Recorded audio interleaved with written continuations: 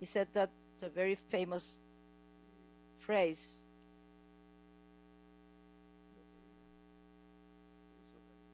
For now, and uh, this became a reality.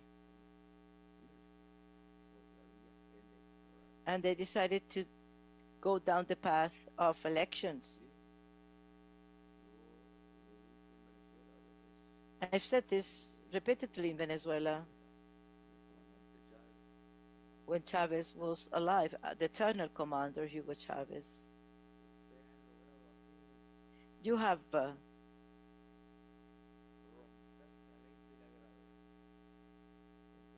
broken the law of gravity here. You've done something unprecedented in the region. Because in Chile, there was a revolution, but that revolution was defeated, demolished soon after.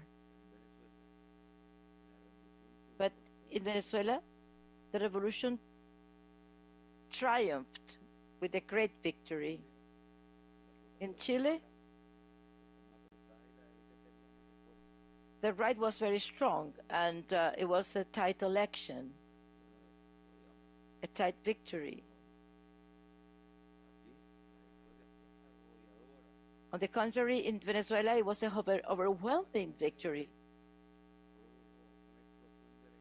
that not only generated a lot of joy in the Venezuelan people, but also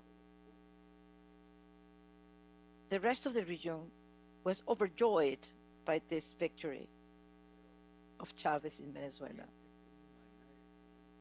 Now, who could have imagined such a victory would occur?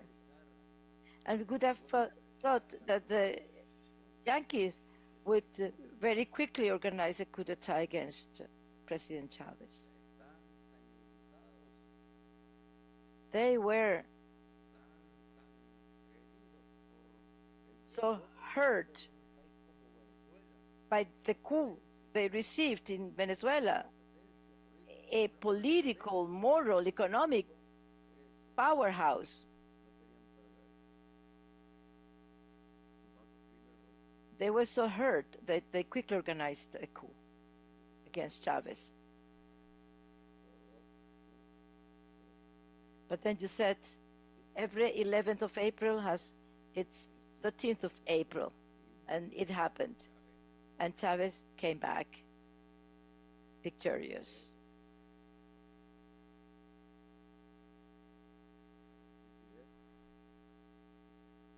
And Chavez and Fidel together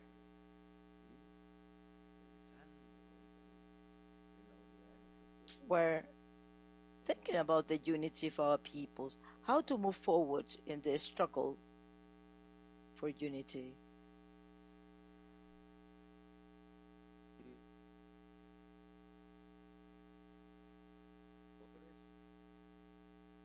That is why